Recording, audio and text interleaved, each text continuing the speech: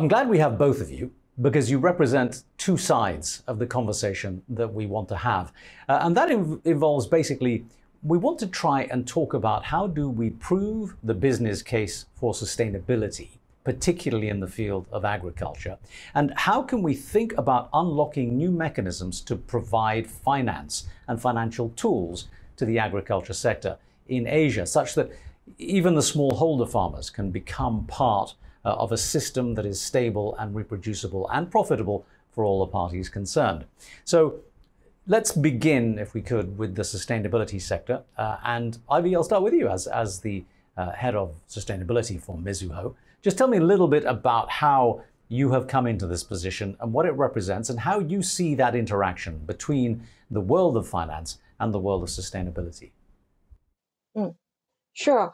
I think I had the privilege of joining uh, the entire sustainable finance movement back in the days when sustainability is still uh, a novel idea. And I kind of witnessed, you know, how sustainability as a very niche topic and then becoming more mainstream and now financial institutions and the entire capital market is, you know, paying more attention, taking it very seriously.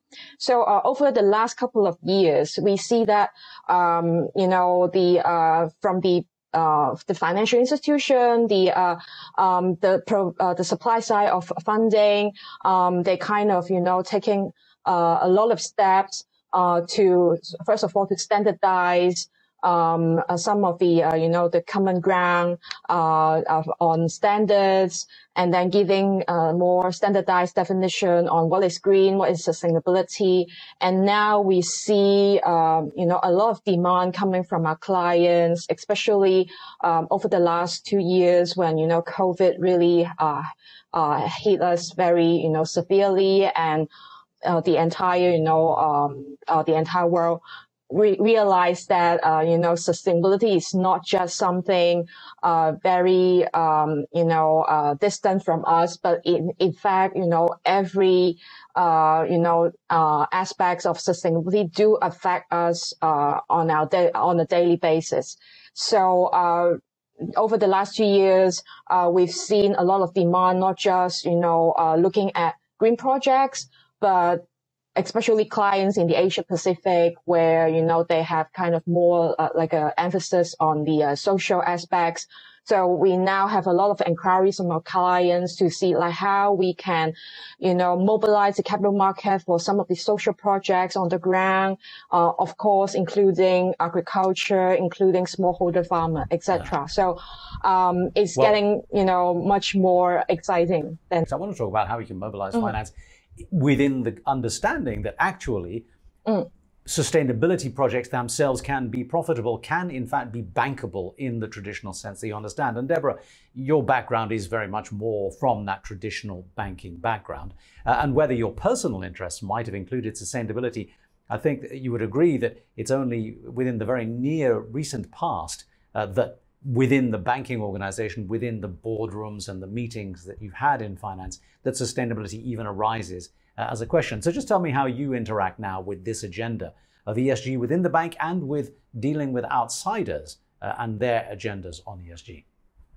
Yeah, absolutely. And it, it has risen quickly to be not just a topic of discussion in the boardroom, but an important um, existential discussion that that uh, companies need to have around transition strategy. And so, at Mizuho, we, we definitely through our C-suite relationships and, and down to the um, the day-to-day banking, uh, really embed this lens in, in everything that we look at and do. I mean, in, in terms of overcoming some of the the issues that our clients have have had and finding solutions to to those one of the main things that we focus on is breaking down the barriers and access to credit. And I think it's something you touched on. And one of the ways we do that is by directly providing credit in a format that that would entice the large corporate to actually uh, have sustainability linked goals and objectives. And we do that in a way, um, in a format that is structured and there's usually a, a, a second party opinion provider, and there are certain milestones and, and things that, that those corporates need to achieve. and in uh, return, they enjoy either better uh, financing rates or or more access to capital. So, I mean, I want to talk about how the system operates in the sense that uh, we we always, to a certain extent, and, and Ivy, just by a moment ago, she was talking about uh, putting this in a social context, we do tend to think about unlocking finance for smaller farmers and in areas like this as being a social or a non-profit or even a government responsibility and not so much a private sector responsibility. And, and what we're trying to get to here is think about how we can actually begin to break down that perception and that practice in a way that that makes it viable for all the parties to get involved. So, Deborah, I mean, in the in the context of the way that you are thinking about engaging with outside corporations, with outside institutions, with outside small businesses. Uh, you know, can you give us some examples about some of the challenges that are coming to you now uh, that address some of these issues? Yeah, I mean, there's an asymmetric amount of resources closer to the bigger size companies um, and not enough um, resources that have been uh, given out to the smaller companies. So in, in relation to how that financing is set up that we were, we were just talking about sustainable linked financing, there is an increased focus on ensuring that those funds of the corporates are deployed down the supply chain to the smaller and medium-sized businesses and eventually the smallholder farmers. So, so the incentives around deploying those funds and structures that are being put in place need to and continue to evolve to really focus on the entire supply chain. It doesn't work to simply say, decree that the supply chain must adapt. It, the funds actually have to have to make their way down to allow the rest of the supply chain to adapt. Um, and, and, so, you know, in, in terms of the things that we're focused on and that we're structuring, it's actually helping to get capital to the large corporates that that are focused on doing that and helping to directly provide capital to them, but also helping them to get access to additional capital. So, one example that we recently put in place was uh, a Thai food company that was able to achieve a Japanese uh, rating, again, using our specific uh, Japan edge in this case. And uh, having that company get a sustainability linked loan that attracted investors who could rely on that Japanese rating to, to provide more capital to that large company that then had made commitments down the supply chain to, to actually um, help the small and medium sized companies within its value chain and supply chain. In a broad context, Ivy, I mean, when you are looking like activities like that and, and relationships and projects like that, just what are the guidelines that you're looking at from a Mizuho perspective of what a responsible and sustainable investment should look like? How do you apply that filter to the, to the work that, that you're doing? Right. So the capital market, um, the, uh, we have sort of guidance from the International Capital Market Association, who's, uh, you know, set up the, uh, uh, principle for green bonds, for social bonds, and also for sustainability bonds. Now we are moving, you know, uh, uh some of the uh, our attention to the sustainability link product. So uh, I think we are very lucky to have, you know, a, a, industry association such as ICMA to start, you know, to kickstart the market with uh, a set of principle and then uh, the capital market soon, you know, absorb it uh, very quickly and uh, get more uh, uh, uh like acceptance of uh, an uptake from the not just the financial institution but also the investor space. So we have some sort of you know rules to guide us through the entire you know, structuring procedures and then um, we have kind of like a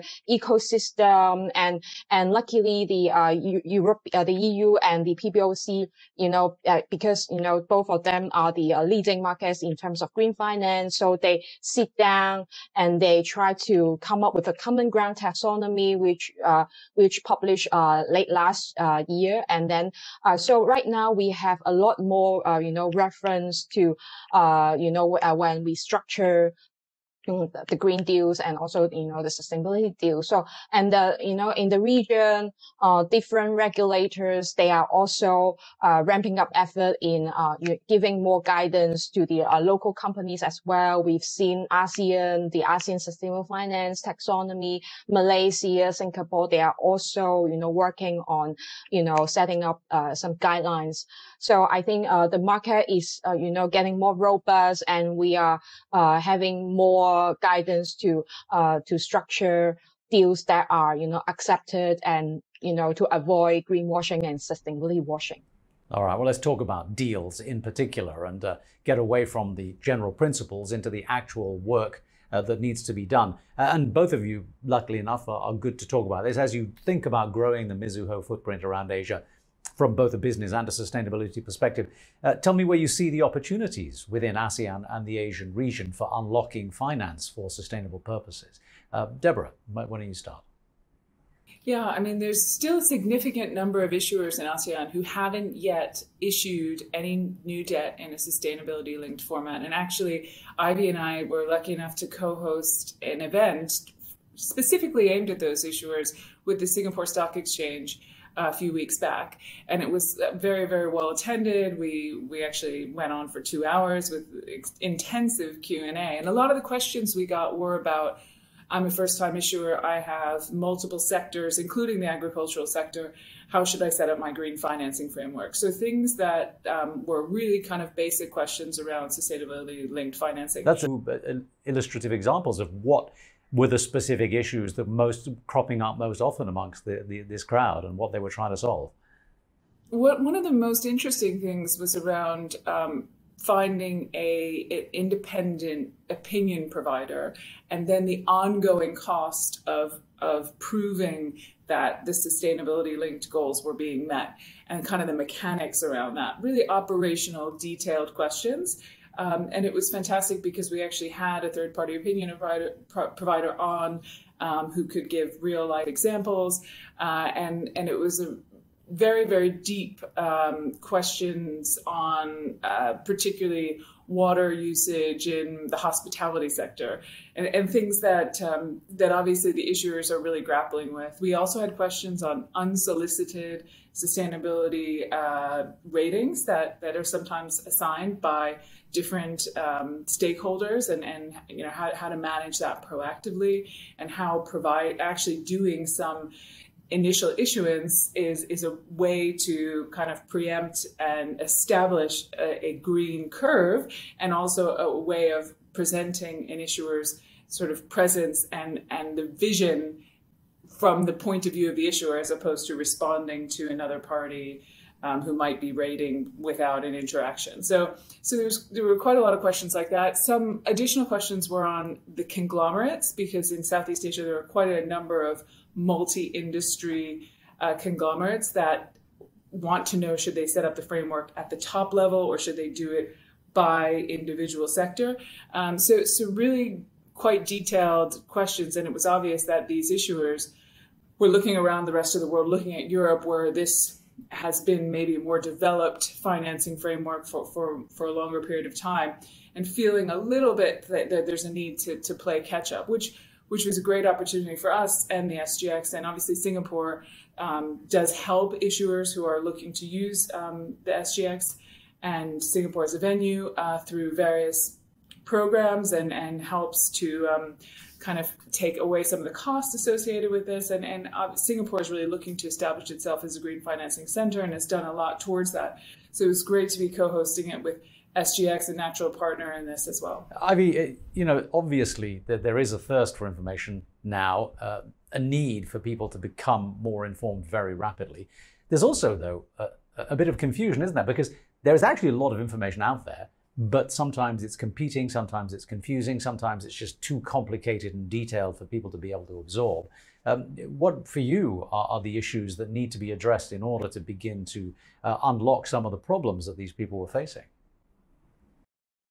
I think I, I, I just want to add a point on top of what Deborah just mentioned. Like uh, when we talk about green finance, sustainable finance, uh, it's actually a multi-stakeholder collaboration. Uh, you know, uh, to to ensure the integrity of the market development. So I I think uh, of course like over the last couple of years we've seen uh, as you just mentioned there are loads of information and clients or you know companies are still you know when it comes to uh, you know, green definition they sometimes feel a little bit confused of you know which uh, standard to uh, align with. And also you know the technicality uh, you know how why why is it like uh, uh, for example like the natural gas is is a, a, you know a very debated topic and and you know in some region uh is acceptable but in in EU that's def- uh, definitely no goal so you know clients do have this kind of uh question about you know uh uh you know the uh it seems like there's a spectrum of greenness uh and and uh, as a financial institution as a financial advisor we are here to explain and you know and uh, help our uh clients clients to, uh, you know, to, uh, trying to reach, uh, the, the, you know, the, the, uh, the stand, the, the better standard, uh, and the best practices in the market as possible. I'm glad you mentioned collaboration because that really is emerging as one of the key core component elements of making progress on this front. Uh, if you, it's from so many perspectives. People talk about the need to be able to reach outside of your own organization. So, so Deborah, tell me how uh, is Mizuho as an organization responding to that challenge, particularly of forming new collaborative networks? And also the challenges that those clients that you were talking about were putting in front of you and saying, how can you help us get over this? Yeah, a, a, lot of our time is actually focused on breaking down the barriers to financing access, but it's also focused on connecting the dots. And those dots are, for us, a lot of those dots exist with high tech companies in, in Japan who may be leading in, in agri tech and, and clients in Southeast Asia who are, who are struggling and looking for potentially the, the next, next technological advantage that's going to give them uh, a heads up both in, in terms of sustainability and in terms of um, productivity and efficiency. So we host um, a lot of agri-tech Japan focused matching exercises where we're, we're connecting clients of ours with opportunities. Um, and, and that's actually been extremely fruitful and helpful for, for, our clients in order to find ways to grow, but, but also for um, our bankers who are, who are then involved in those collaboration exercises and that sort of creativity. Um, we also see a real need to co-invest and to invest directly in, in social um, financial enablement and access to, to, to financial services for the underbanked. And actually, Mizuho has invested in two such uh, opportunities. One is uh, a Filipino digital bank, and, and the second is a digital wallet in, in Vietnam. Um, and actually, our round of investment is specifically um, going, we understand, to, to rural development and, and, talking about the impact of COVID on some of the agricultural sector, uh, clearly farmers, quite often the smaller farmers don't have access to banking services and are either unbanked or underbanked. And through Momo, our investment in uh, the, the Vietnamese wallet platform, we're actually helping uh, that company is actually helping to provide financial services to, to, to unbanked uh, rural populations. So so there's there's the collaboration, but then there's also the direct co-investment that we see as necessary. I mean, this whole collaboration conversation brings us back to the point you made earlier on about uh, the, the, the supply chain. You know, in this world in which so much of the sustainability conversation does depend upon everybody in that chain being able to fulfill their agenda. Uh, when scope three emissions call for this kind of activity, it's, it's something that cannot be avoided. But what's the best way of doing it, Ivy? I mean, uh, are there uh, is it best to do this from within an organization on a one-to-one relationship basis? Is it best to join platforms, the, the kind of platforms that Grow Asia represents? Uh, how, how do you think is the, is the best way we can begin to address those really big picture thorny issues? Yeah, supply chain is actually a, a great opportunity for us to, you know, to really to explore and uh, within Mizuho, we have already started this kind of exercise. We explore several approach which uh, we can, uh, you know, provide uh, our, you know, uh, our client with supply chain finance. But that uh, also needs the collaboration with external parties, such as we've been working with like a rating agency that is specifically working on the supply chain ESG rating, you know, to give us more color on uh, all the uh, different parties along the supply chain, how they are performing uh, from ESG lens, so that as as a bank we can you know save some resources on doing the due diligence one by one on our own. So this is one of the approach, and but there are you know others that we are constantly looking at and trying to do some pilot deals with our clients. So um, and also I think the the emergence of sustainable finance, especially this when we are talking about sustainable uh, bonds, uh, sustainability bonds, green bonds, social bonds, uh, it actually offer another avenue for uh, for although not directly, but indirectly, it also, you know, uh, uh, uh, do provide some funding for the uh, the smallholder. Say, for example, we've uh, we've seen a couple of uh, issuance of sustainability bonds by uh, food companies, uh, which uh, specifically, uh, you know, uh, mentioned that their target population is smallholder farmer, and they will uh invest in projects that help their uh from procurement, you know, sustainable procurement of their agriculture products to better supporting um, the smallholder with some financial service, you know, these kind of projects. And um, because you know, right now we are we are talking about uh, having a group of ESG investor, you know, constantly looking at this type of uh, investment opportunity. So uh, it actually create a momentum uh, for the company to really to uh, you know take it seriously to see what sort of projects they can uh, you know to uh, they can um, uh, roll out to create some social impact at the same time attract these these type of impact investors. So um, and um, it's not just about food company. We are also seeing say for example one of the leading telecom companies they issue a sustainability bond.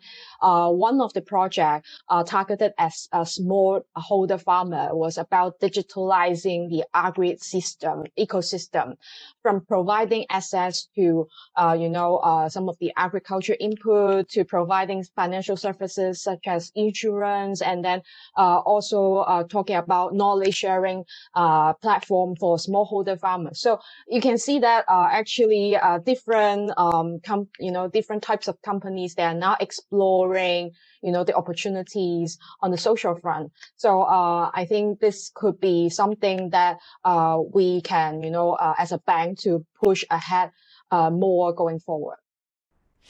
Let's, let's talk, uh, come down from the, the big picture, the project level, the, bond level, large scale financing conversations to, to the really much more granular nitty gritty. And you both mentioned farmers a couple of times now. From the perspective of, of the financial industry, you have lending criteria that are not really appropriate to the situations of smallholder farmers. They, they, may, not have access to credit. They may have circumstances which mean that their reliability is often compromised. So, Deborah, to what extent is it necessary to begin to change the mindset of the lenders uh, as much as the mindset of the borrowers into something that can be replicable and can help them rise up and be uh, rise up out of poverty on a longer term basis?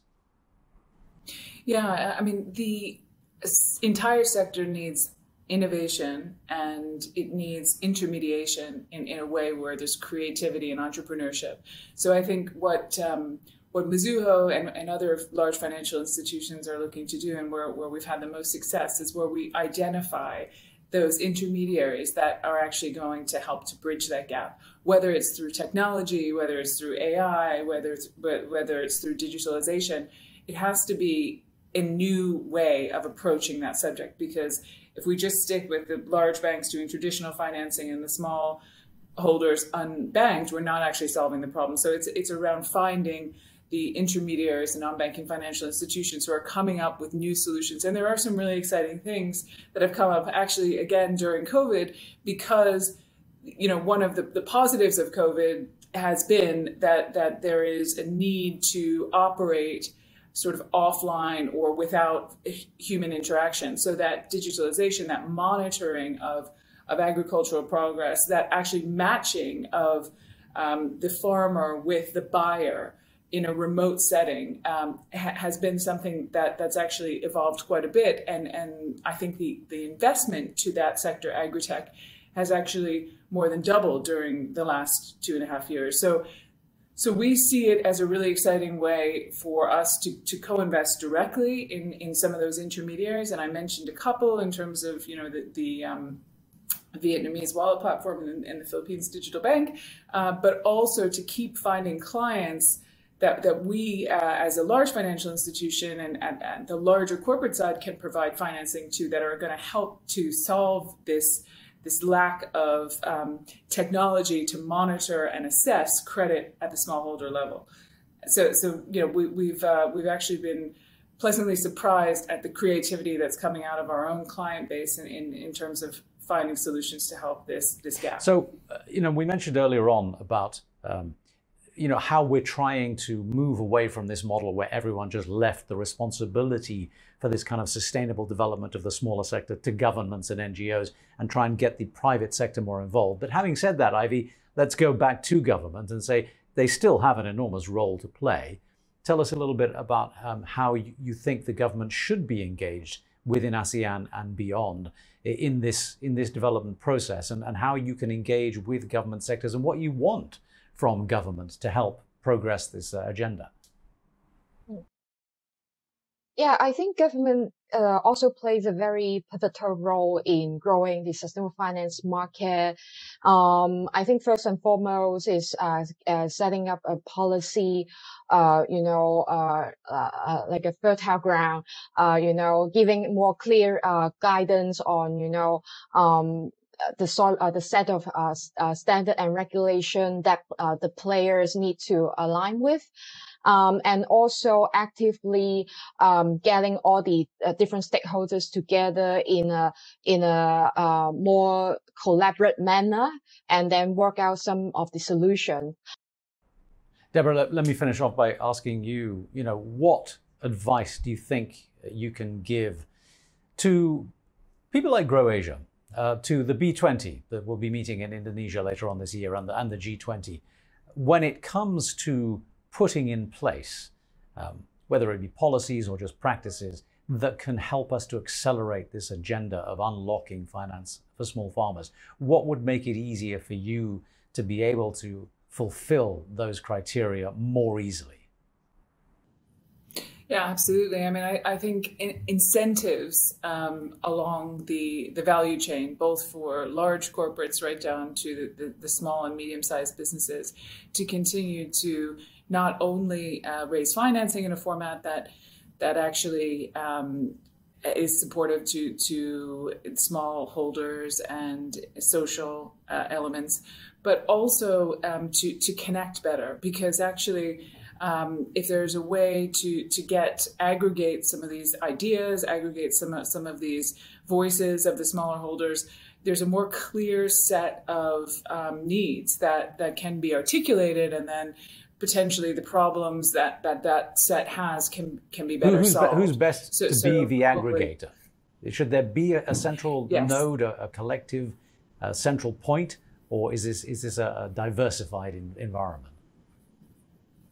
I think you know usually the aggregation or the responsibility of organizing the aggregation does does fall on the larger the larger players, whether whether that's the financial institutions, the larger size corporates, or the governments, and and uh, but in that aggregation, that that those organizers don't forget to include the voice of of the further down the supply chain and, and not just stay at, at, the very top level, and also to continue to think about transition um, not just pure green, but how do, how do we get there and like what are the, the actual practical steps? Because quite a lot of the government efforts have been very much focused on, on things that are very neatly 100% uh, sustainable, but there's obviously a, a journey to get there and, and, and increasingly closer deadlines. But with that pressure, also developing a, a, a way to get there that, that's going to allow practical um, solutions that are immediately implementable and, and inclusive of the entire well, I'm glad you said the, the responsibility should fall on some of the big companies because we did begin this conversation on that very premise of how can we get those big companies to come in and play more of a role because there's so much talent, there's so much knowledge, there's so much experience within those companies uh, that really should be engaging more with the governments and the non-profits to make this happen. And I'm glad to hear that Mizuho is, is thinking of, of playing an outsized role in that activity. It's been a pleasure talking to both of you, and I appreciate your joining me on this conversation. Thanks very much indeed. Thank you.